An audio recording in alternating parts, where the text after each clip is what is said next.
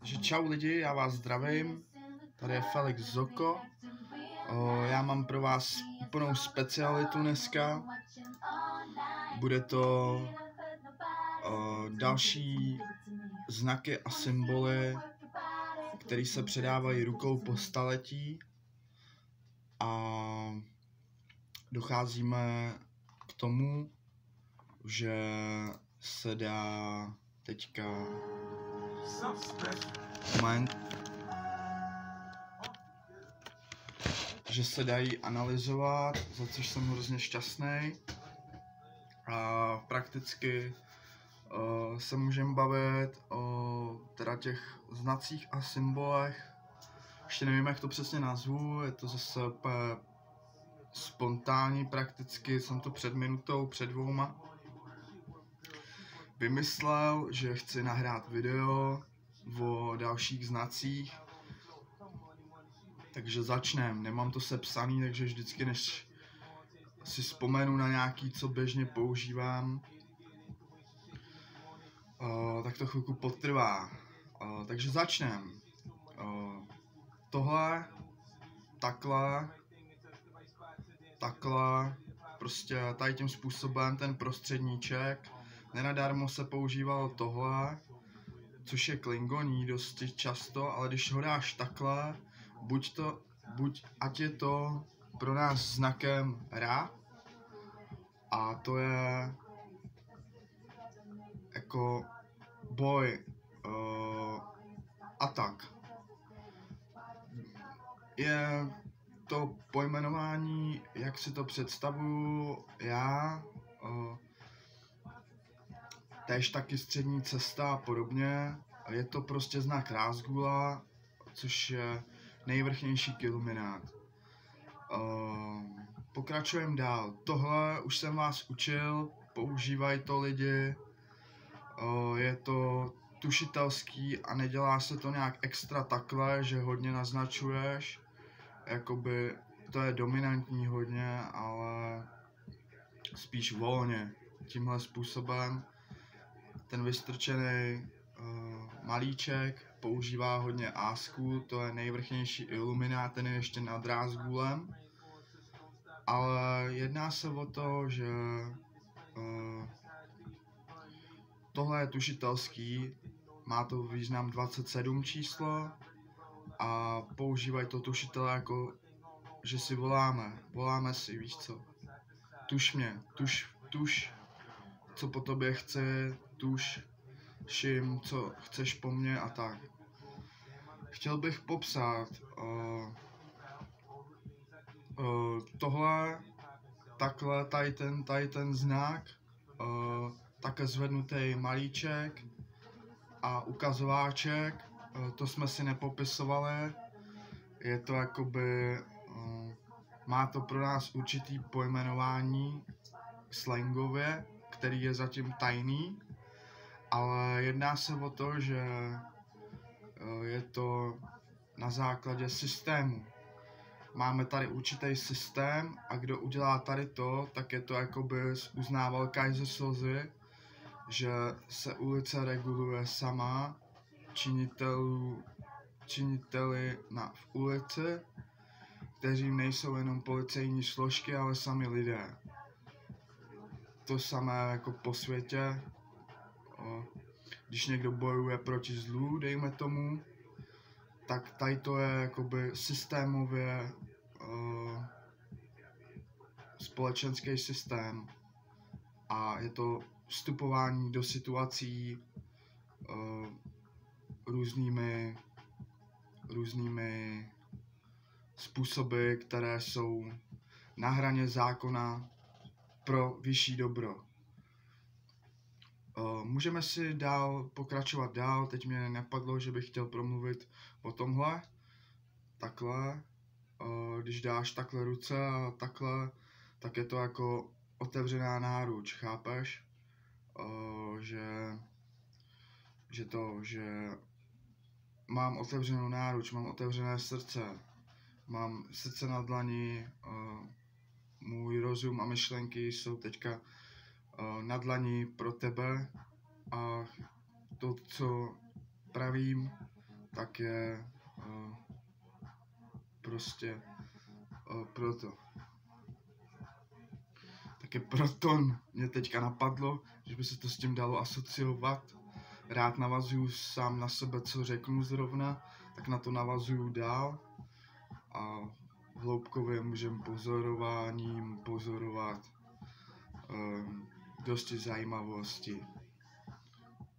Jo, teď jsem chtěl třeba vnitřně říct zajímavé věci a místo toho se vyskytlo zajímavosti. Pokračujeme dalej. A dál.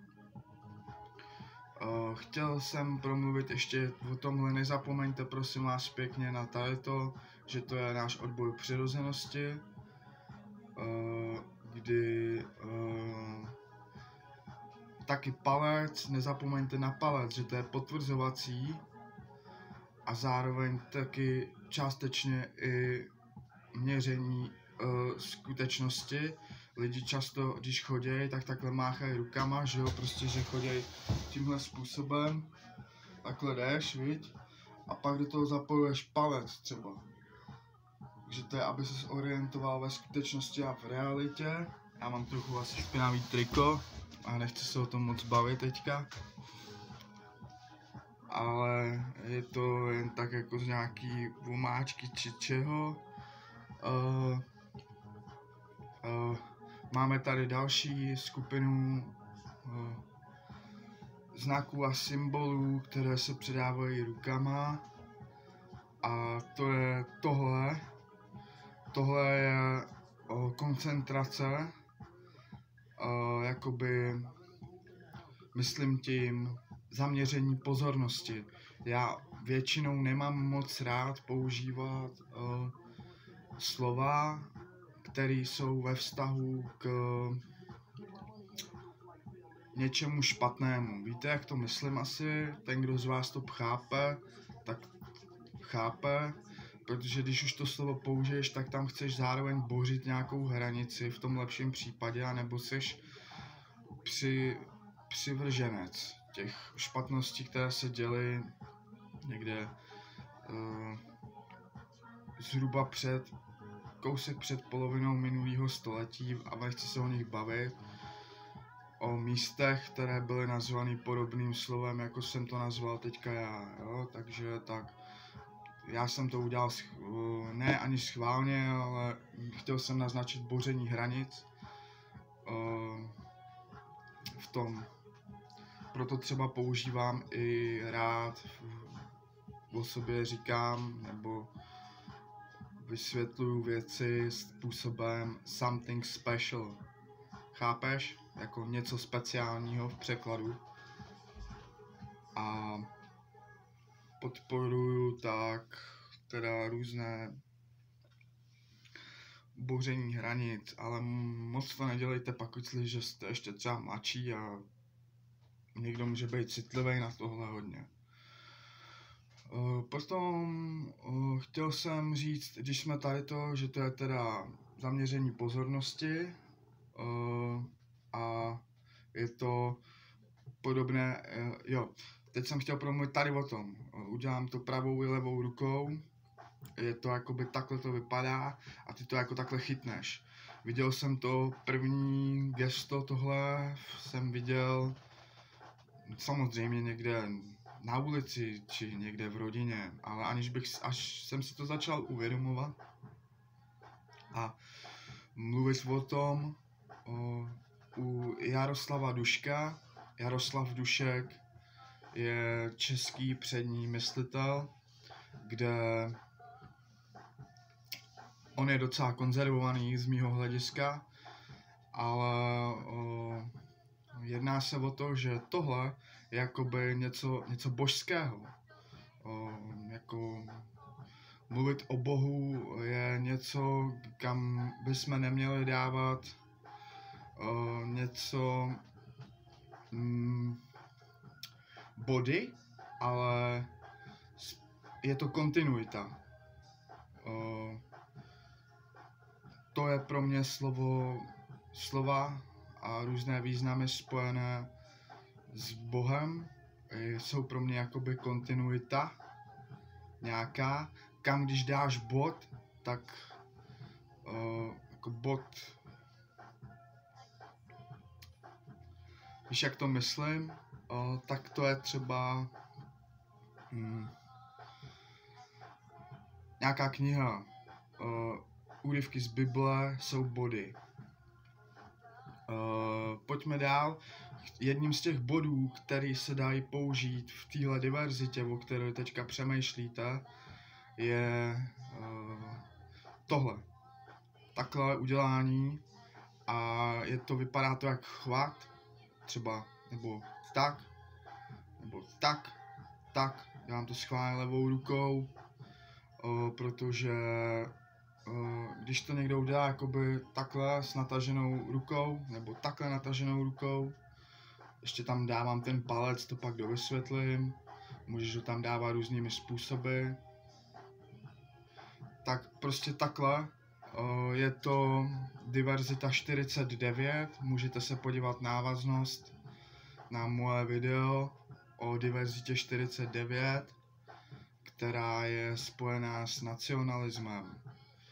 Termín nat- national, nationalismus, uh, nation uh, z angličtiny uh, není, není prostě s, pro mě něco zakázaného, o čemž bych neměl nějak přemýšlet, je to prostě pravice. A levice uh, jsou liberálové, že ano. Prostě pravice a levice, teď se to v téhle době takhle rozděluje ještě furt a je to vztah ke své rodové působnosti a k narození v nějaké zemi a podobně. Abych nezapomněl, teď se mi objevil tohle, uh, tenhle znak, o kterých by měl promluvit. Uh, je to jakoby převracování mě teďka napadá a zároveň uh, suma sumárum. Je to jakoby vyjádření suma sumárum nebo vzájemný klad, uh, pak by to mohlo být uh, jakože máš uvnitř země kouly, viď? Ale to pro nás není důležité, je to koloběh. Uh, koloběh, uh, kdy je den a noc, například, a podobně. Uh, takže nebudem se tím teďka nějak zabývat. Uh, když už jsme si říkali, že tohle je klad, tak samozřejmě víte, že tohle je, je zápor a nebudeme se tím taky zabývat. A pokračujeme dalej. Můžeme se vyjádřit ještě nějaké znaky a symboly, o kterých by se dalo mluvit. Já už jsem vám popsal, co, co je tenhle znak, co jsou tenhle znak, co je tenhle znak, co je tenhle znak, co je tenhle znak. Podívejte se na znaky symboly mimozemských civilizací nebo mimozemských bytostí, jak se to video přesně jmenuje. Je to na mém kanále. Pak co jsem vám chtěl říct, jo, jo, ještě bych se rád vrátil k tomu, že prostě bychom se neměli drbat, jako na hlavě, viď, a ani prostě nikde jinde. Měl by se to člověk odnaučit, kdo chce být systémově dál a splnit náš level. Říkám náš, protože to je důležité. A je tady ještě princip, uh, že byste se neměli zabývat uh, zvýšenou citlivostí na prožívané skutečnosti. tohle jsem hodně tušil, nevím, kdo přesně předává informaci, samozřejmě mluvím já, ale jedná se o to, že skutečnost, která je citlivá, je prodeje schopná. Um, proto nebuďme nakonfigurovaní, že chceme někoho avizovat prostě způsobem a s jednoduchou pointu vám chci předat, kterou jsem teďka sám pro sebe pochopil a si zevšednil, je, že bychom neměli uplácet uh, způsobem, který je nemorální. Uh, taky uh, podpírat si hlavu a tak. Pak jsem vám chtěl ještě ukázat uh, některé prostě zákonitosti, které uh, jsou dosti složité a podobně. Uh, nechtěl jsem o tom teďka zrovna úplně mluvit, ale jsem tady od toho, abych vám zpříjemnil den a zapojil vám mozkovny ve formou svého prožitku a mluvy, která je atypická a uh, chtěl jsem jenom být s váma v, tomhle videu.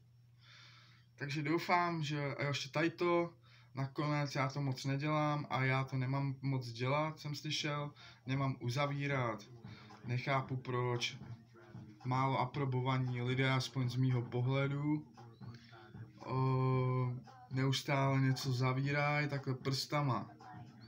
Nechápu to. O,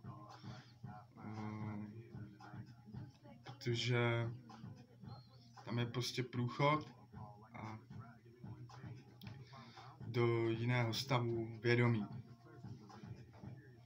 když to uzavřeš. Ale když to uděláš takhle a uděláš tam jenom minimální mezeru, tak je to lepší.